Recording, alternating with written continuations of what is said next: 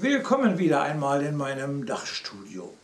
Ich möchte heute ein altes Kinderlied vor dem Vergessen bewahren. Ich vermute, dass es kaum noch gesungen wird, weil die Personen, um die es da geht, so gut wie nicht mehr vorkommen. Der eine jedenfalls. Wer kennt heute noch einen Fuhrmann, es sei denn, jemand heißt so. Um Fuhrmann und Fährmann geht es in diesem Lied. Der Fuhrmann, heute der Spediteur.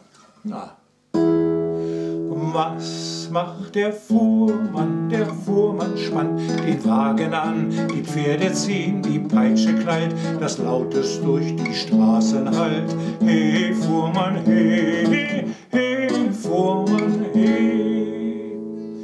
Er kam zum Fährmann, ich fahr euch nicht, ihr Vatersmann, gebt ihr mir nicht aus jeder Kist ein Stück von dem, was drinnen ist. He, Fährmann, he, Ja, sprach der Fuhrmann, für dich da tu ich, was ich kann. Du kriegst von mir aus jeder Kist ein Stück von dem, was drinnen ist. He, Fuhrmann, he, he, he, Fuhrmann, he.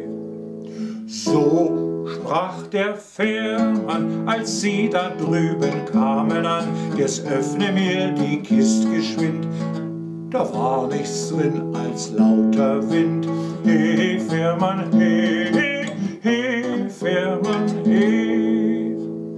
Schalt da der Fährmann, oh nein, oh nein, er lachte nur, aus jeder Kiste ein Stückchen Wind, dann fährt mein Schifflein sehr geschwind.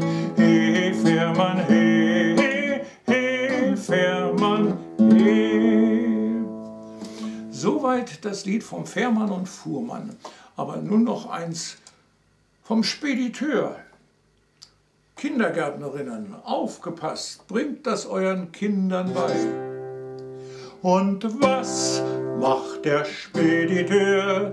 Des Morgens schon trinkt er Likör. Zum Mittagessen trinkt er nein, nicht Wasser, denkst du, sondern Wein.